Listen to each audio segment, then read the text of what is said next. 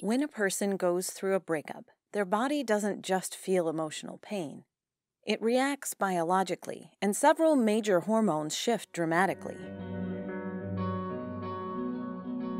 In a healthy relationship, high levels of dopamine promote feelings of joy, motivation, and pleasure. Dopamine is a key part of the brain's reward system, making love feel addictive. After a breakup, dopamine levels drop sharply. This sudden decline contributes to feelings of sadness, lack of motivation, and even a profound difficulty finding pleasure in activities you once enjoyed. The intense craving for your ex is often the reward system seeking its fix. This explains why logic often fails during a breakup. Your prefrontal cortex, or logic, knows it's over, but your midbrain, or survival and reward, is screaming for its fix to restore chemical balance. Oxytocin is produced in the hypothalamus and released by the pituitary gland. It is widely known as the bonding hormone. In a relationship, oxytocin is released through physical touch, connection, and intimacy. It strengthens attachment, trust, and the sense of safety you feel with your partner. After a breakup, oxytocin levels begin to drop, and the neurological bond that was built over time slowly starts to fade.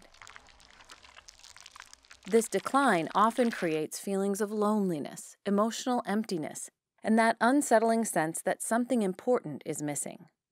Because the chemical link that supported the relationship is breaking down.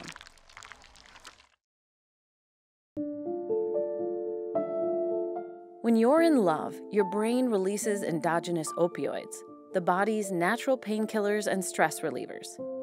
They are the chemical equivalent of a warm blanket, creating that distinct feeling of safety and contentment you feel when cuddling with a partner.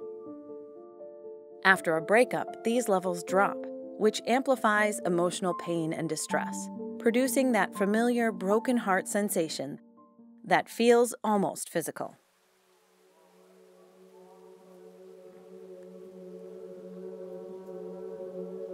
After a breakup, cortisol, the body's primary stress hormone, spikes as the brain interprets the loss of a close bond as a threat. Excess cortisol sends blood to your major muscles and keeps muscles tense and ready for action, which can lead to headaches, muscle aches, or a tight chest and throat. Also, blood is redirected away from the digestive system, causing appetite changes or digestive discomfort. High cortisol levels also interfere with relaxation, often resulting in insomnia, while simultaneously weakening the immune system and making the body more vulnerable to illness.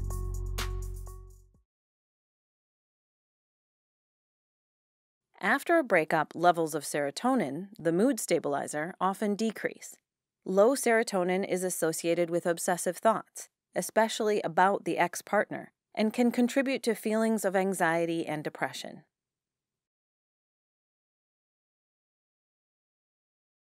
Studies using fMRI scans have shown that looking at a picture of an ex partner activates the same areas of the brain that register physical pain, such as a burn or a broken arm.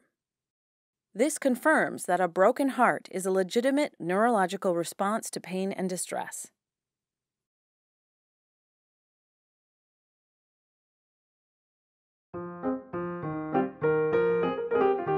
Healing from a breakup is a deeply biological process, often compared by neuroscientists to recovering from an addiction or repairing a physical injury. At the heart of this recovery is the brain's remarkable ability to reorganize itself, forming new neural connections while gradually weakening the old ones tied to the lost relationship. This rewiring allows the mind to adapt, process the loss, and eventually move forward. This is why no contact is so critical. Every interaction with the ex acts as a momentary dopamine hit that restarts the addictive cycle, delaying the process of withdrawal and healing. The body must actively work to lower the high toxic levels of cortisol. This is achieved by engaging the parasympathetic nervous system or the rest and digest state. Activities like deep breathing, slow movement, and spending time in nature are powerful tools to downregulate the nervous system. The brain also needs new, healthy sources of pleasure to balance the dopamine drop after a breakup. Activities that bring joy, purpose, or excitement help form fresh neural pathways. Exercise boosts endorphins, lifting mood, while learning a new skill or hobby activates the reward system in a positive, sustainable way.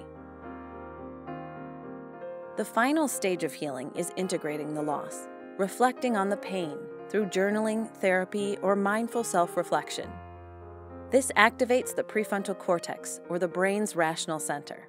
This gradually quiets the amygdala's emotional alarms, helping the intense feelings of heartbreak settle so the mind can move forward.